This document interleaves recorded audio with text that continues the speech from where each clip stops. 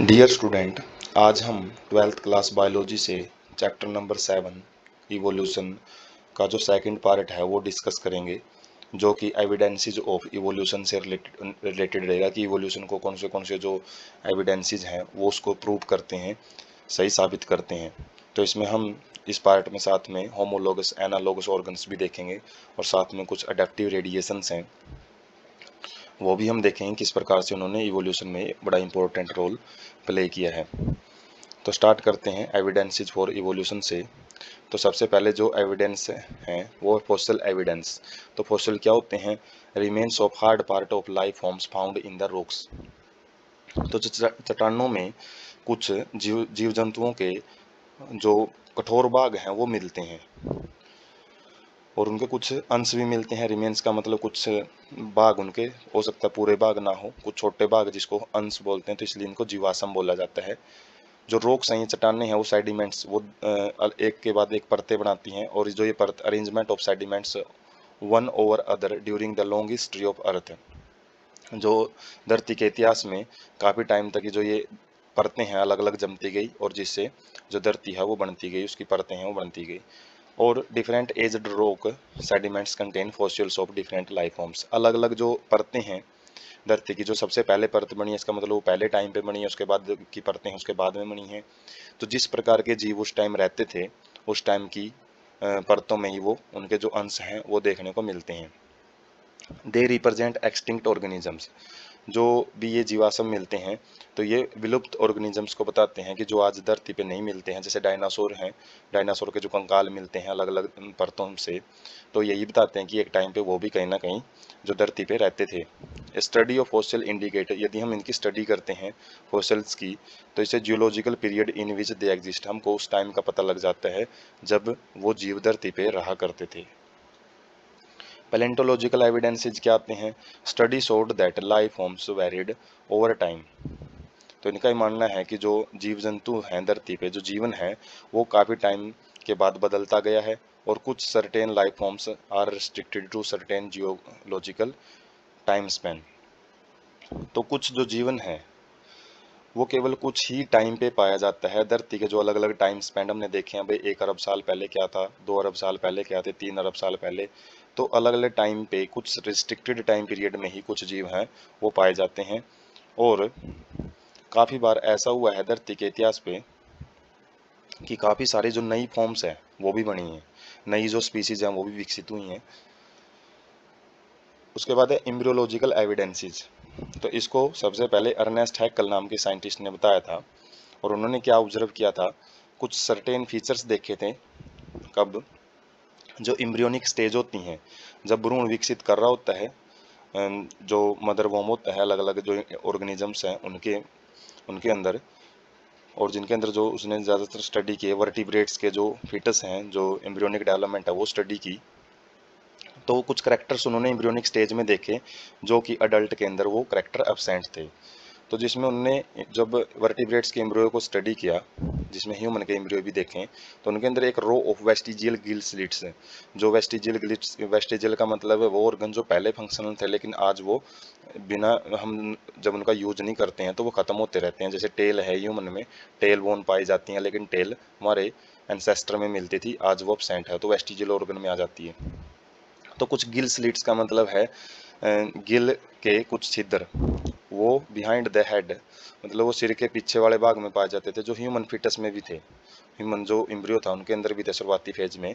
लेकिन ये फंक्शनल किन में रहते हैं मछलियों में, क्योंकि मछलियों के पास ही गिल्स होते हैं, जबकि जो अडल्ट वर्टिब्रेट्स हैं दूसरे, उनके अंदर ये ख़त्म हो जाते हैं। टाइम टू टाइम मतलब इनकी जो डेवलपमेंट है मतलब जब भी विकसित होता है एक भ्रूण, वो ये ख़त्म करता रहता है, जो भी स्ट्रक्चर है extra structure Karl Ernst von Baer एक अलग साइंटिस्ट हैं, जिन्होंने नोट किया कि जो इम्ब्रियो है, एक इंडिविजुअल का जो इम्ब्रियो है, वो कभी दूसरे इंडिविजुअल के अडल्ट में पास नहीं होता है। उसका एक स्पेशल खुद की हिस्ट्री होती है पार्टिकुलर हिस्ट्री हालाँकि शुरुआती फ़ेज़ में वो एक जैसे ज़रूर लगते हैं, लेकिन बाद में वो चेंज हो जाते हैं। जिस भी अडल्ट की इन्फॉर्मेशन उनके डीएनए में है, वही अडल्ट वो बनाते हैं। उसके बाद होमोलॉगी या फिर homologous organ organs having different function ये वो ऑर्गन होते हैं जो काम तो अलग अलग करते हैं, लेकिन इनकी जो एनाटॉमिकल स्ट्रक्चर है, जो इनका ओरिजिन है, जिस जगह से ये बनते हैं, जो बेसिक स्ट्रक्चर है इनकी, वो सेम रहती हैं। स्ट्रक्चर सेम होती है और वो किस चीज़ की वजह से होती है? Different direction due to adaptation to the different need जब ये अलग अलग एनवायरनमेंट में जाते हैं तो उस हिसाब से इनको अलग अलग ढंग से डलना पड़ता है। तो स्ट्रक्चर तो वही होती है, उनकी फ़ंक्शन उनके अलग अलग हो जाते हैं। और ये किस चीज़ को दिखाता है? डाइवर्जेंट इवोल्यूशन डाइवर्जेंट का मतलब है एक जगह से निकल के अलग अलग डायरेक्शंस में फैलना। उसको बोलते हैं डाइवर्जेंट इवोल्यूशन जिसके अंदर क्या होता है? एक बेसिक स्ट्रक्चर है, लेकिन जैसे जैसे उसको नीड दी जाएँगे अलग अलग तो उस हिसाब से वो अलग अलग फ़ंक्शन करना स्टार्ट कर देगा, जिसके अंदर जो एक जगह से निकलना क्या रिप्रेजेंट कर रहा है कि जो भी ऑर्गेनिज्म है, वो हालाँकि उनके फ़ंक्शंस हैं स्ट्रक्चर्स के बेसिक स्ट्रक्चर जिनकी सेम है, वो अलग अलग ज़रूर है, लेकिन उनके एनसेस्टर जो उनके पूर्वज हैं, वो कहीं ना कहीं एक ही रहा, रहे हैं। सिमिलरिटीज इन प्रोटीन जीन्स तो जो स्ट्रक्चर है, वो किस बेस पे सेम है? क्योंकि उनकी जो प्रोटीन्स हैं, उनके अंदर जो जीन है, जिनके पास इन्फॉर्मेशन होती हैं तो वो सेम होते हैं किनके अंदर डाइवर्स ऑर्गेनिजम्स के अंदर। जैसे एग्ज़ाम्पल से समझेंगे, जो फोर लिम्स होते हैं वेल्स के मतलब जो आगे के फिन्स होते हैं वेल्स के, और बैट्स चमगादड़ में जो आगे के पंख होते हैं, एक, इनके पास पाँव होते हैं, और जो फोर लिम्स जिसको बोला जाता है, वेल्स के बैट्स के चीता होता है, जैसे ह्यूमंस हैं, ये सारे मैमल्स के हमने एग्जांपल देखे हैं। इनके अंदर क्या है, जो आगे के हाथ या पैर हैं, जैसे इंसानों में हाथ होते हैं, बाकी के तो पैर या फिर फिन या फिर पंख भी हो सकते हैं। उनकी जो स्ट्रक्चर है, वो सेम होती है, लेकिन फ़ंक्शन जैसे वेल्स में तैरने का करते हैं वो काम, बैट में उड़ने करेंगे, चित्ता में दौड़ने करेंगे, और ह्यूमन है, वो अलग अलग एक्टिविटी हैंड से वो करते हैं। और उनकी स्ट्रक्चर यदि हम देखें तो जो हड्डियाँ पाई जाती हैं फोरलिम्स में ह्यूमरस बोन है रेडियस है अल्ना है कार्पल मेटाकार्पल फेलेंजिज इनकी जो स्ट्रक्चर है वो सिमिलर होती है। ये जो स्ट्रक्चर हैं वो सब, सबके पास पाई जाएँगी। जितनी भी स्ट्रक्चर हमने देखी हैं फोरलिम्स में, ये हर जीव में पाए जाएँगे, लेकिन इनके फ़ंक्शंस हैं फोरलिम्स के, वो अलग अलग हो जाते हैं। वर्टिब्रेट हार्ट और द ब्रेन जो अलग अलग वर्टिब्रेट्स में जो हम हार्ट देखते हैं और ब्रेन्स देखते हैं, वो भी होमोलोगस ऑर्गन का एग्ज़ाम्पल है। प्लांट के अंदर भी जो थोरन और टेंड्रिल होते हैं ना, ये स्टम, स्टेम की मॉडिफिकेशन होते हैं, स्टेम से ही बनते हैं। लेकिन इनका जो काम है वो अलग अलग होता है। जैसे बोगनवेलिया के अंदर जो थोरन्स है, वो उसको प्रोटेक्शन प्रोवाइड करते हैं। जैसे ककरबिटा में जो टेंड्रिल्स हैं, उसको स्पोर्ट प्रोवाइड करते हैं। जैसे बेल में हमने देखा, एक स्पैरल टाइप की जो स्ट्रक्चर होती है, वो जब भी किसी स्पोर्ट के अराउंड घूम जाती है तो उसको स्पोर्ट मतलब वो उसको फिर आगे अपनी ग्रोथ करवाने में विकसित करती हैं, मदद करती हैं। तो यहाँ पे हम डायग्राम से आइडिया ले सकते हैं, जैसे रेडियस अल्ना है ह्यूमरस बोन है कार्पल है मेटाकार्पल फेलेंजिस जो कि फोर लिम्स की बोन्स होती हैं, जो ह्यूमन के अंदर हैं ये। और दूसरे जो अलग अलग जैसे टाइगर या फिर कैट है वेल है बैट है, इनके अंदर हमको ये सारी स्ट्रक्चर है, वो देखने को मिलती है, जिससे बेसिक स्ट्रक्चर सिमिलर है, लेकिन इनके काम है। जैसे बैट में फ्लाइंग का काम होता है, उड़ने का, जो वेल के फ्लिपर होते हैं, ये उसको तैरने में मदद करते हैं, कैट के जो पाँव हैं, वो उसको दौड़ने में मदद करते हैं और हाथ हैं जो अलग अलग एक्टिविटी के लिए यूज़ किए जाते हैं। तो ये होमोलोगस ऑर्गन के एग्ज़ाम्पल हैं। उसके बाद है एनालोगस एनालोगस जस्ट अपोजिट होता है होमोलोगस का। जिसके अंदर क्या होता है organ having different anatomically similar structures तो दे परफॉर्म सिमिलर फ़ंक्शंस तो ये वो ऑर्गन होते हैं जिनकी एनाटोमी स्ट्रक्चर डिफरेंट मिलेगी, लेकिन उनके फ़ंक्शंस हैं वो सेम होते हैं। सेम एनवायरमेंटल कंडीशन की वजह से। तो ये कन्वर्जेंट इवोल्यूशन को साबित करता है। कन्वर्जेंट इवोल्यूशन का मतलब है अलग अलग जो स्ट्रक्चर वाले जो एनिमल्स हैं अलग अलग जो ऑर्गेनिजम्स हैं, वो अलग अलग जगह से आके केवल एक ही जगह पे यदि आके रहने लग जाते हैं तो उनको उस हिसाब से मॉडिफाई करना पड़ता है। जैसे जो अलग अलग टाइप के इंडिविजुअल यदि वाटर के अंदर रह रहे हैं तो उनको अपने फ्लिपर्स वगैरह हैं तैरने के लिए, वो मॉडिफाई करने ही पड़ते हैं। तो ये कन्वर्जेंट इवोल्यूशन मतलब अलग अलग जगह से आके एक जगह पे इकट्ठा होना कन्वर्जिंग लेंस होते हैं डाइवर्जिंग लेंस तो कन्वर्जिंग लेंस में क्या होता है, एक जगह पे फोकस किया जाता है। तो ये अलग अलग करेक्टर्स को एक जगह पे फोकस करने का काम करते हैं। Similar habitat result in in selection of similar adaptive features in different organisms but towards same function तो कारण क्या रहता है? सिमिलर हैबिटेट का होना एक ही जगह पे रहा जाना अलग अलग जीवों का। तो जिसके अंदर सिमिलर अडेप्टिव फीचर मिलेंगे मतलब उस एनवायरनमेंट में रहने के लिए जीवों को एक ही ढंग से विकसित होना पड़ेगा और अलग अलग जीव हैं जो वो एक ही टाइप के वो फ़ंक्शन हैं, फिर वहाँ के उसके जो ऑर्गन है, एक ही प्रकार के जो फ़ंक्शन हैं, वो करते हुए मिलेंगे। एग्ज़ाम्पल है जैसे wings of butterfly and of birds look alike जो पंख होते हैं। एक बटरफ्लाई जो कि इंसेक्ट में आता है अर्थरोपोड्स में और जो बर्ड्स हैं जो उनके पंख होते हैं, वो एक जैसा ही काम करते हैं। दिखते भी एक जैसे हैं क्योंकि उड़ने से रिलेटेड काम होता है। आई है जो ऑक्टोपस की और मैमल्स की। तो ये भी एक प्रकार के फ़ंक्शन करते हैं। देखने से रिलेटेड काम रहता है इनका। हालाँकि जो ऑक्टोपस है, वो नॉन कोरोडेट्स में आता है। और जबकि मैमल्स हैं, वो कोरोडेट्स में आते हैं वर्टिब्रेट्स में। काफ़ी डिफरेंस है इनके अंदर, बाकी सारे स्ट्रक्चर में, लेकिन फ़ंक्शन इनके सेम ही है। फ्लिपर्स ऑफ़ पेंगुइन है और डॉल्फिन है। डॉल्फिन के जो, आगे के जो हाथ बोलो या पाँव बोलो जो उनके फ्लिपर्स हैं तो उसको तैरने में मदद करते हैं। और पेंगुइन के भी जो, हालाँकि बर्ड है पेंगुइन लेकिन वो वो भी ज़्यादातर पानी में ही रहता है। और जिसकी वजह से उसके भी जो आगे के जो पंख हैं, वो फ्लिपर्स में मॉडिफाई हो गए हैं। स्वीट पोटैटो है, वो रूट मॉडिफिकेशन होता है, जबकि जो पोटैटो है सिंपल वो स्टेम मॉडिफिकेशन होता है। और फ़ंक्शन क्या है इनका? फ़ूड को स्टोरेज करने का, लेकिन मॉडिफिकेशन इनकी जो एनाटोमिकल स्ट्रक्चर है रूट एक अलग स्ट्रक्चर लिए होती है स्टेम एक अलग स्ट्रक्चर लिए होता है तो जो पोटैटो है वो स्टेम से बना होता है और जो स्वीट पोटैटो शकरगंद होता है, वो एक रूट से मिलके बनता है रूट का मॉडिफिकेशन होता है, काम इनका स्टोरेज का ही रहता है। उसके बाद हम देख सकते हैं पिक से जो बर्ड्स के विंग्स हैं इंसेक्ट के विंग्स हैं और बैट के विंग्स हैं।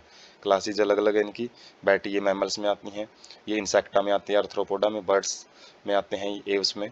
तो काम सबका उड़ने का है, लेकिन स्ट्रक्चर अलग अलग रहती हैं।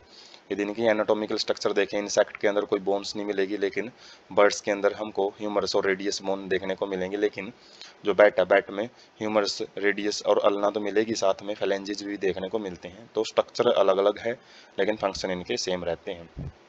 उसके बाद एंथ्रोपोजेनिक इवोल्यूशन एंथ्रोपोजेनिक का मतलब है मैन मेड जो कि मनुष्य ने इवोल्यूशन में क्या रोल प्ले किया है, वो हम एंथ्रोपोजेनिक इवोल्यूशन में पढ़ते हैं। इवोल्यूशन काज्ड बाय ह्यूमन उसको एंथ्रोपोजेनिक इवोल्यूशन बोला जा सकता है। तो मनुष्य ने क्या किया है many man breed bred selected plants animals for agriculture horticulture sport and security तो अलग अलग स्पोर्ट एंड सिक्योरिटी के लिए या फिर जो एग्रीकल्चर खेती बाड़ी के लिए और जो फलों के उद्यान के लिए टाइम टू टाइम अलग अलग जो नई नई स्पीसीज हैं, उनको वो खोजता रहता है। नई नई जो डेवलपमेंट बायोटेक्नोलॉजी है, जैसे उसमें पुरानी स्पीसीज से नई स्पीसीज है, काफ़ी सारी हम फ़सलों की अलग अलग टाइप के जो बीज हम देख सकते हैं मार्केट में अवेलेबल होते रहते हैं।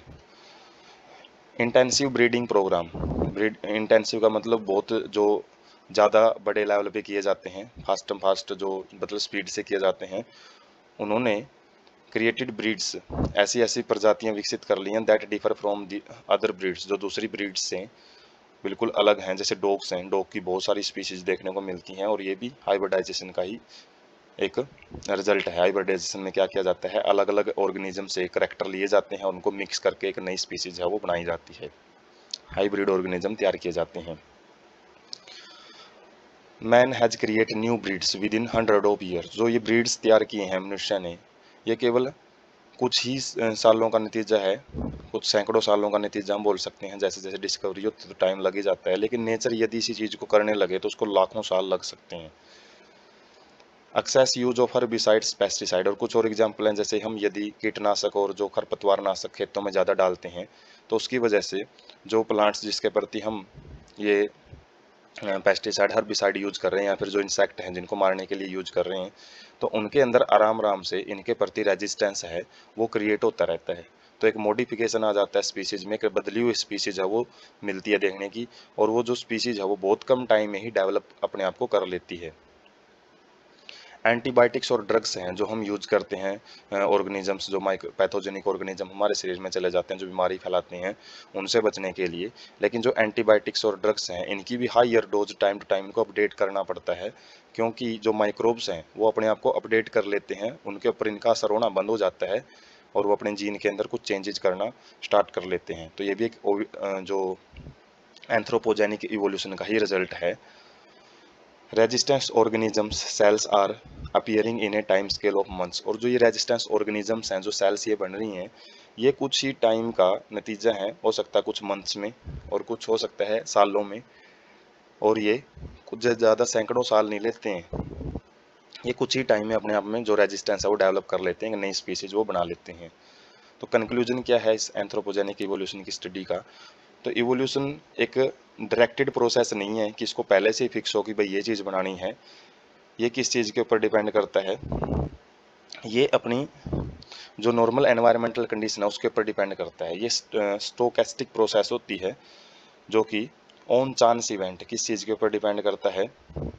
जो भी इवेंट्स इसके आसपास के सराउंडिंग में प्रेजेंट हैं, जो स्टैटिक्स एनवायरनमेंट में रहता है, उसकी वजह से जो भी ये चेंजेस देखता है एनवायरनमेंट में थोड़े थोड़े करके, उस हिसाब से इनके अंदर म्यूटेशंस आती हैं और म्यूटेशन से जो जीव हैं, वो नई नई वेरिएशन अपने अंदर लेके आता है। उसके बाद है इंडस्ट्रियल मेलानिज्म यह भी एक एंथ्रोपोजेनिक इवोल्यूशन का एक, हम एग्ज़ाम्पल रूप में भी समझ सकते हैं इसको।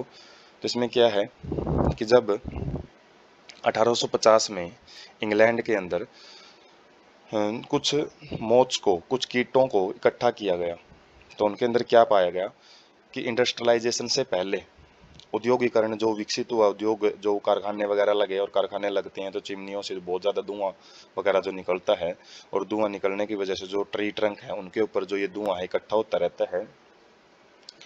और उस पर जो कीड़े वगैरह पाए जाते हैं, उनमें किस प्रकार का जो चेंज है, वो देखने को मिलता है।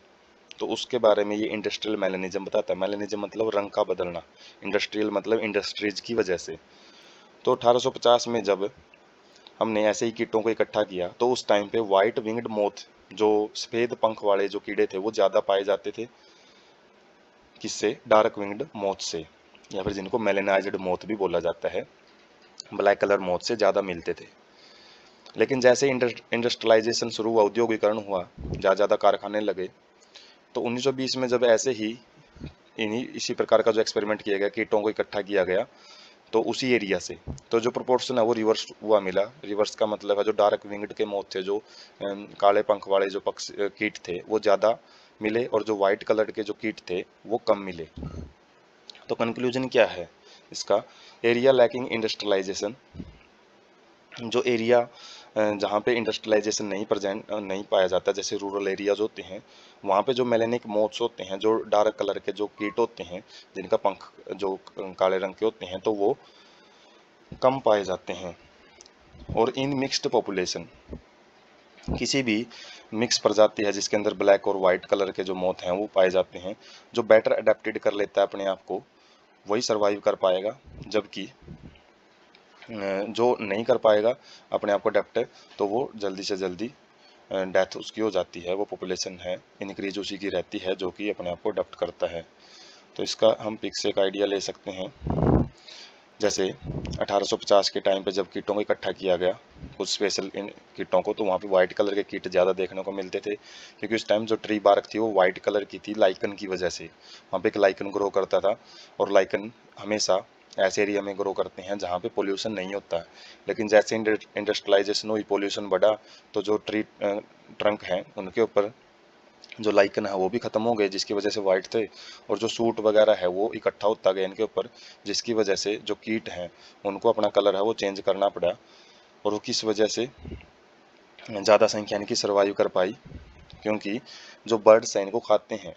तो वो जिस प्रकार के बैकग्राउंड पे रहेंगे यदि उस पर आसानी से दिख जाते हैं बर्ड्स को तो उनको आसानी से मतलब जो बर्ड्स हैं या फिर प्रीडेटर उनको खा जाते हैं। तो पहले क्या थे, जो वाइट कलर के मौत क्यों सर्वाइव कर पाते थे, क्योंकि वाइट कलर का ट्रंक था जिसपे रहते थे, वो आसानी से नहीं दिख पाते थे। और बाद में जो वाइट कलर के मौत वो ख़त्म क्यों होते गए डार्क वाले क्यों सर्वाइव करके क्योंकि जो डार्क कलर का, जो ट्रंक ट्री ट्रंक है, पेड़ की शाखाएँ हैं, वो इनको बचा लेती है। बैकग्राउंड के साथ ये कैमोफ्लोज भी शो करते हैं। जैसे कि स्पीक में हम देख सकते हैं, यहाँ पे एक जो कीट है, वो वाइट बैकग्राउंड में है और जो किसी भी प्रीडिएटर को आसानी से नहीं दिख पाएगा, इसलिए बचा रहेगा। लेकिन ब्लैक कलर का जो कीट है, वो आसानी से इस वाइट बैकग्राउंड में वो आसानी से दिख जाता है, जो कि प्रीडिएटर के द्वारा खा लिया जाता है। लेकिन बैकग्राउंड यदि ब्लैक हो सूटी एरिया हो तो उसके अंदर जो वाइट कलर का कीट है, वो आसानी से दिख रहा है। और जबकि जो ब्लैक कलर का कीट है, वो इतना आसानी से नहीं दिख पा रहा, जिसकी वजह से ये इनका नंबर बढ़ने का यही कारण होता है, जो अपने कलर को मॉडिफाई नहीं कर पाते हैं तो वो बर्ड्स के द्वारा खा लिए जाते हैं। तो इसके एक्सप्लेनेशन यहाँ से देखते हैं हम। जो प्रीडिएटर्स हैं will spot a moth against a contrasting background मतलब जो भी प्रीडेटर होते हैं, जो कि इन कीटों खाते हैं बर्ड्स वगैरह, वो किसी भी मौत को स्पोर्ट करते हैं। पहले उसकी जगह का पता लगाते हैं, किसी भी बैकग्राउंड में यदि वो बैठा हुआ है तो। किसी भी ट्री ट्रंक पे जैसे बैठा हुआ कॉन्ट्रास्टिंग का मतलब अलग होना चाहिए। जैसे ब्लैक है तो वाइट कलर का होना चाहिए, तभी वो स्पोर्ट कर पाएगा, उसको पता लगा पाएगा। इंडस्ट्रियलाइजेशन के बाद के पीरियड्स में जो ट्री ट्रंक है, वो डार्क कलर के हो जाते हैं, क्योंकि जो इंडस्ट्रियल स्मोक है, जो धुआँ है जो सूट के पार्टिकल है, उनके ऊपर बैठते रहते हैं। अंडर दिस कंडीशन इन परिस्थितियों में जो वाइट विंग्ड मोथ हैं, वो ज़्यादा सर्वाइव नहीं कर पाते हैं, किस चीज़ की वजह से? प्रीडिएटर्स की वजह से। वो प्रीडिएटर उनको खाते रहते हैं लगातार। और जो डार्क विंग्ड के मोथ हैं, या फिर मेलेनाइज्ड मोथ हैं, वो सर्वाइव कर जाते हैं क्योंकि वो इतना आसानी से नहीं दिखते हैं प्रीडिएटर्स के द्वारा। बिफोर इंडस्ट्रियलाइजेशन इंडस्ट्रियलाइजेशन से पहले की क्या कंडीशन थी, उस टाइम पे वाइट कलर के जो लाइकन थे लाइकन क्या होते हैं, जो एलगी और फंगस का एक एसोसिएटेड रूप होता है, जो कि अनपोलिटेड एरिया में ही पाए जाते हैं। जैसे पोल्यूशन बढ़ता है तो ख़त्म हो जाते हैं तो उस टाइम पे जो ट्रीज हैं, उनके ऊपर ये वाइट कलर के लाइकन की वजह से जो ट्री ट्रंक है, वो वाइट था। और उस वाइट बैकग्राउंड होने की वजह से जो वाइट विंग्ड मोथ हैं, वो सर्वाइव कर जाते थे उस टाइम पे। लेकिन जो डार्क कलर के मोथ हैं, वो आसानी से बर्ड्स के द्वारा पिक कर लिए जाते थे, जो कि प्रेडिएटर्स का काम करते हैं। Moth that were able to camouflage themselves वो मोथ जो अपने आप को बैकग्राउंड में मैच करके, जो प्रीडिएटर्स है, उसको चकमा देने में कैमोफ्लोज भी इसी को बोलते हैं, जिसमें चकमा दिया जाता है प्रीडिएटर्स को, अपना बैकग्राउंड है वो। अपना जो कलर है बैकग्राउंड के साथ मैच करके, जैसे जो गिरगेट है, वो भी इसी तरीके से रंग बदलता है, जैसा उसको बैकग्राउंड मिलता है, उसी टाइप का वो रंग बना लेता है, ताकि जो बर्ड्स वगैरह हैं, जो शिकारी पक्षी हैं उसको ना देख पाएँ। जो आर्मी की ड्रेस होती है ग्रीन कलर की, जो नेवी की ड्रेस ब्लू कलर की होती है तो इनका ड्रेस का बनाने का पर्पज यही होता है, जो यूनिफॉर्म होती हैं, ताकि जो जंगल वगैरह में यदि रहते हैं फॉरेस्ट वगैरह में तो उसके कैमोफ्लोज भी शो कर पाएँगे तो पट्टियाँ ही भी इसीलिए बनाई जाती हैं, ताकि आसानी से ना दिख पाएँ दुश्मनों को।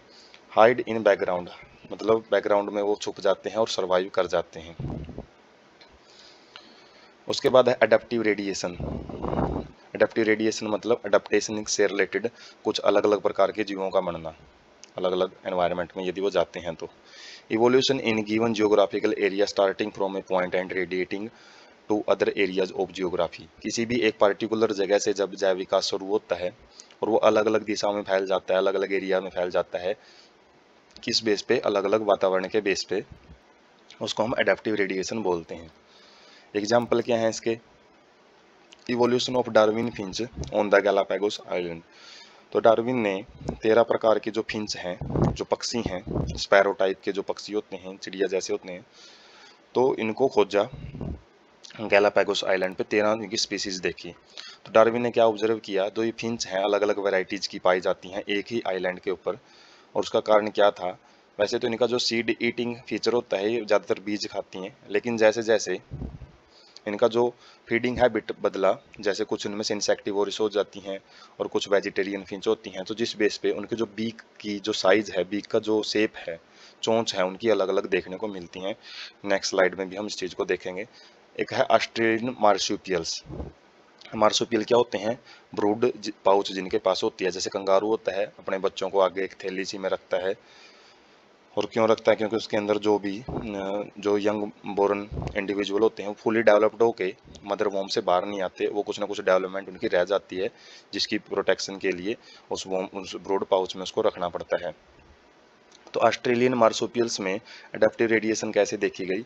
A number of marsupials different from the other evolved from an ancestral stock but all within Australian island continent तो ये जितने मार्सोपियल्स हैं अलग अलग प्रकार के पाए जाते हैं। ज़रूरी कंगारू ही होते हैं जिसके पास ब्रूड पाउच होता है माउस भी होते हैं एंटीटर भी होते हैं अलग अलग एग्ज़ाम्पल हम नेक्स्ट स्लाइड में भी देखेंगे। काफ़ी सारे टाइप के जो मार्सोपियल्स हैं, वो जब ऑस्ट्रेलिया कॉन्टिनेंट पे रहना शुरू किया उन्होंने तो अपने अंदर जो अलग अलग चेंजेज एक ही एनवायरनमेंट की वजह से तो काफ़ी सारे जो चेंजेज उसके अंदर देखने को मिले।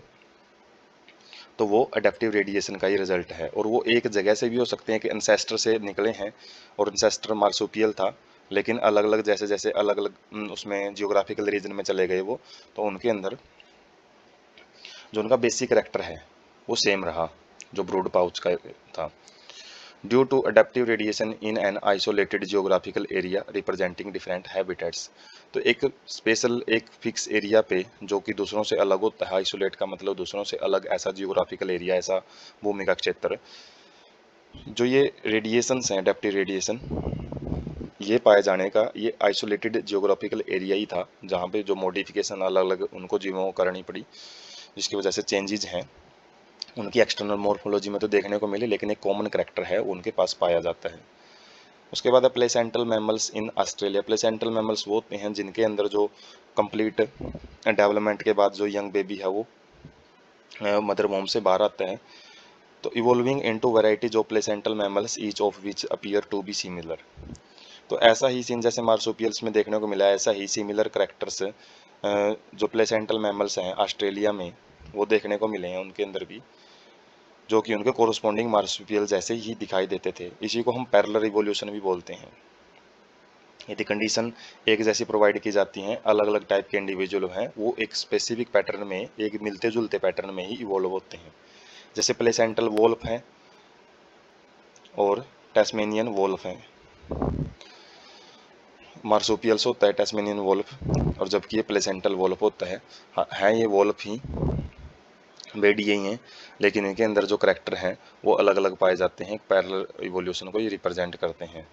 तो हम यहाँ पे डायग्राम से आइडिया ले सकते हैं, जो डार्विन की फेंस थी। इनका जो मेन हैबिटेट था, वो सीड ही बीटिंग था। चौंच है जो इनके पास, सबके पास है, लेकिन अलग अलग करैक्टर से डेवलप कर लेती हैं अलग अलग चोंच का साइज़ मिलेगा।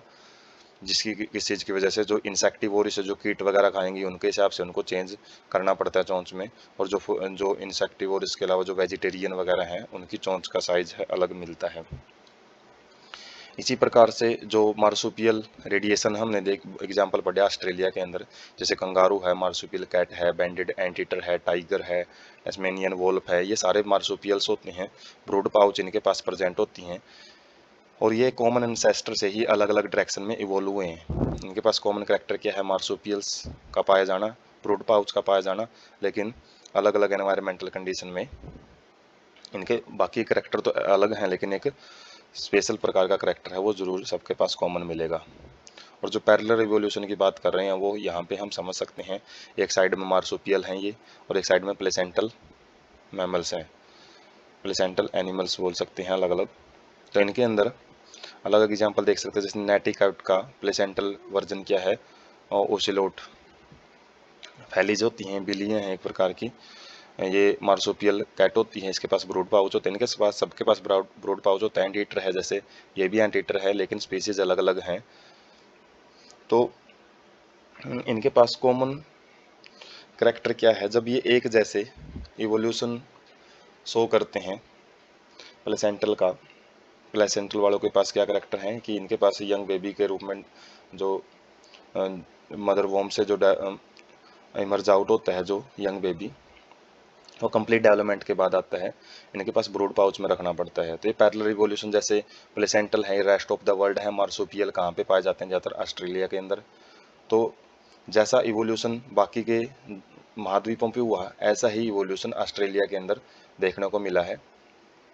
वर्जन अलग अलग हैं, जैसे यहाँ पे माउस हैं, दोनों माउस हैं, लेकिन करेक्टर्स इनके थोड़े से डिफरेंट हैं। ये पैरलर इवोल्यूशन को शो करते हैं।